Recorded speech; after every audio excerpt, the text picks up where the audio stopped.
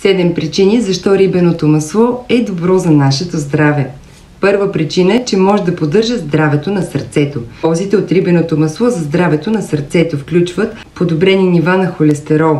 То може да повиши нивата на добрия холестерол и също така може да понижи нивата на лошия холестерол. Друга полза за сърцето е, че намалява триглицеридите. Може да понижи триглицеридите с около 15 до 30%. Също така може да намали кръвното налягане.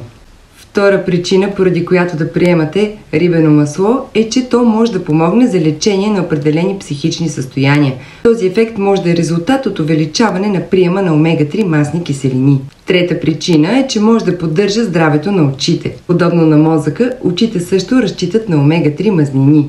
Четвърта причина е, че може да намали възпалението. Възпалението е начинът на имунната система да се бори с инфекцията и да лекува наранявания. Например, повишеното тегло или стресът понякога могат да пренесат за по-високи нива на възпаление.